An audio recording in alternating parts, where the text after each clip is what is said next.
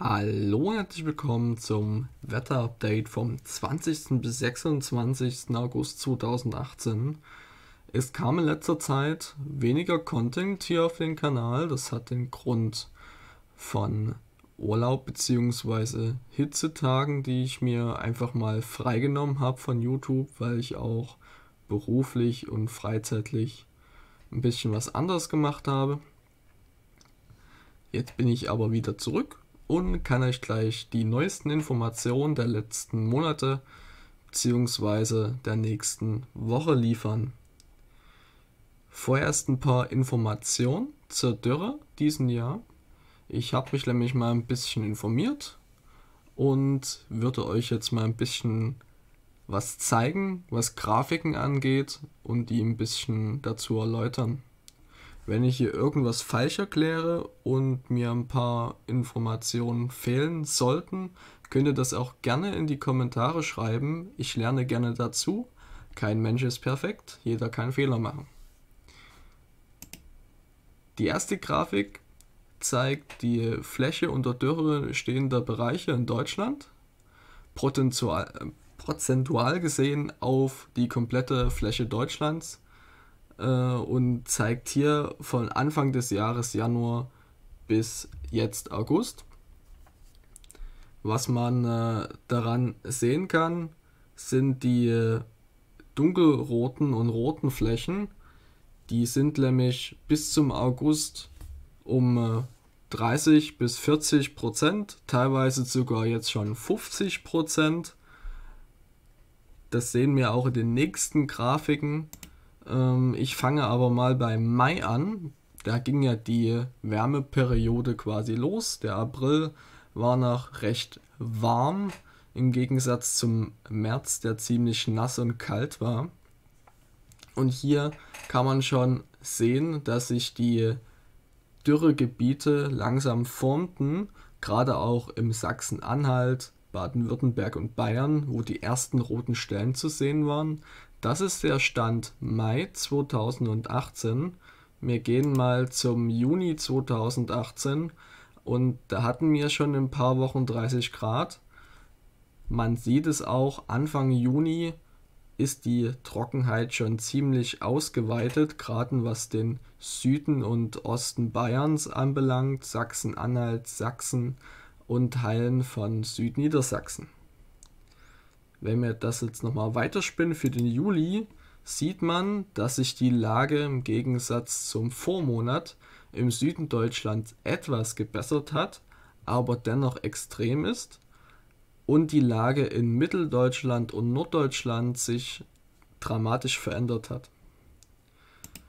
Die aktuellen Bedingungen dazu tut diese Grafik ausdrücken. Das ist jetzt 2000 und 18 vom Stand 17. Juli, also nochmal 16 Tage weiter als die vorherige Grafik. Diese zeigt auf dem linken Bild die Dürre im Oberboden bis zu einer Tiefe von 25 cm, auch ablesbar, steht ja alles da. Und die Bereiche, die ihr hier farbig markiert seht in der mittlersten und linken Grafik, sind einmal die weißen Gebiete, die quasi nicht von der Dürre betroffen sind. Die hellgelben Bilder sind ungewöhnlich trocken, gefolgt von der moderaten Dürre, der schweren, extremen und außergewöhnlichen Dürre. Und die Bereiche der extremen und außergewöhnlichen Dürre sind dieses Jahr auf jeden Fall ziemlich oft vorhanden. Die rechte Grafik zeigt die Waldbrandgefahr und man sieht auch den ausgeprägten Bereich Mitteldeutschland bis hoch nach Norddeutschland. Vor allem Sachsen-Anhalt ist dabei betroffen und Brandenburg. Aber man sieht auch, dass in Bayern und Baden-Württemberg, im Südhessen und Rheinland-Pfalz eine starke Waldbrandgefahr besteht. Dann habe ich mir auch noch mal zum Vergleich die Temperaturanomalie rausgenommen. Das besagt quasi alle Temperaturen in den Jahren 1881 bis heute quasi der Mittelwert des Jahres angegeben in äh, Grad Kelvin und das ist die Abweichung zum Mittelwert. Das heißt, auf der linken Seite seht ihr 0 Kelvin, 1 Kelvin, 2 Kelvin, 3 Kelvin. Das sind quasi die Abweichungen. Und wenn man da jetzt mal so guckt, hat man ja ab 2000 bis 2018 kein Bereich blau. Da sieht man auch, dass sich langsam die Temperaturen wärmer verhalten. Und jetzt kommen wir mal zum eigentlichen Wetter. Ihr seht, es bleibt warm. 20 bis 28 Grad und am Mittwoch 31 Grad. Im zweiten Wochenteiler wird es noch ein wenig heißer werden, aber ich komme mal zur Zusammenfassung. Am Montag ziehen am Vormittag von der Nordsee her dichtere Wolken mit vereinzelten Schauern ins Land. Am Oberrhein bis nach Prag bleibt es meist sonnig bis heiter bei 28 Grad. An den Küsten werden 20 bis 24 Grad erreicht. Am Alpenrand und Südbayern sind vereinzelt Gewitter möglich. In der Mitte bleibt es teils bewölkt mit vereinzelten Schauern bei 22 bis 26 Grad. Am Dienstag bleibt es bei 22 bis 25 Grad in der Mitte des Landes teils bewölkt und schaurig. Meist sind aber nur 1 bis 5 mm Niederschlag zu erwarten. Im Erzgebirge wird es höchstens 20 Grad. Im Norden und Osten bei meist wolkenlosem Himmel werden 26 bis 28 Grad erreicht. Der Mittwoch wird ein Stückchen wärmer. Am Oberrhein werden 29 bis 31 Grad erwartet.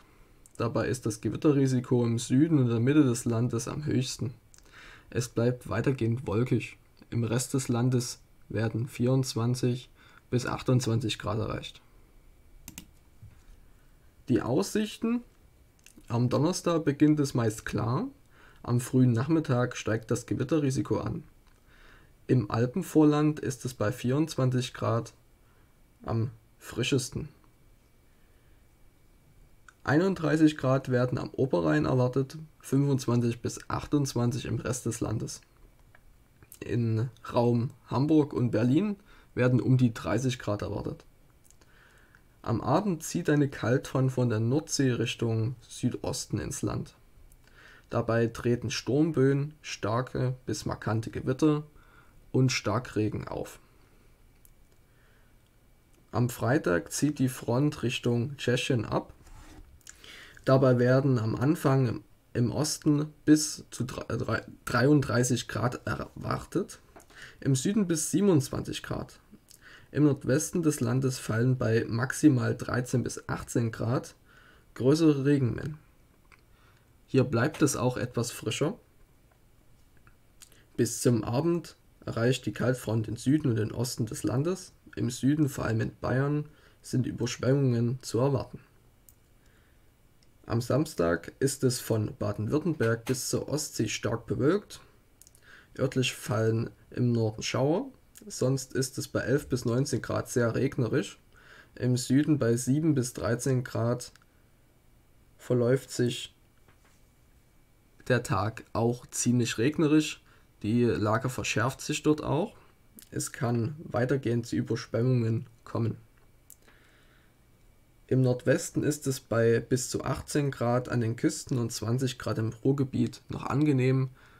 Dort sind nur leichte Schauer zu erwarten. Im langfristigen Trend wird dieser Regen, der im zweiten Teil dieser Woche zu erwarten ist, nicht reichen, den Boden zu sättigen. Das bedeutet folgendes. Nach dieser kurzen Kälteperiode von äh, 7 bis 24 Grad nächstes Wochenende wird es wieder trockener werden, die Temperaturen steigen wieder an. Das bedeutet, dass in der Kalenderwoche 35 die meisten Regionen, wo 20 bis 50 Liter pro Quadratmeter, was bis jetzt äh, so erwartet wird, fallen werden, dass diese wieder allmählich verdunsten und dass die Dürre weitergeführt wird. Ob die Dürre durch einen nassen Herbst wieder zunichte gemacht wird, das lässt sich nur hoffen. Wir hoffen auf jeden Fall das Beste. Ich wünsche euch noch einen wunderschönen Tag und einen wunderschönen Start in die neue Woche.